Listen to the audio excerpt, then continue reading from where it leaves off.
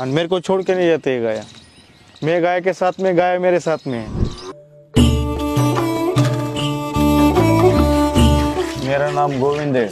मैं इधर दस साल हो गए पूरा गाय का का काम कर रहा हूँ। सौ गाय है मेरे पास। पहले से मैं स्कूल में पढ़ता था। आठ तक पढ़ा हूँ मैं स्कूल में। स्कूल में नहीं पढ़ना अच्छा लगा तो गाय गाय अच्छी लग रही है, इसलिए गाय में आ गए पाँच बजे से चालू होता है तो दस बजे खत्म होता है। पूरा दिन काम रहता है।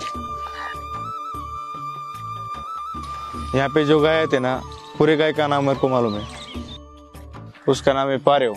जब छोटी सी, तब से मेरे पास है, तब से भी बड़े हो गए मेरे पास ही है। अब ये चार, पाँच साल की है। और मेरे को छोड़ के नहीं जाते गाय। मैं गाय के साथ में, गाय मेरे साथ में है।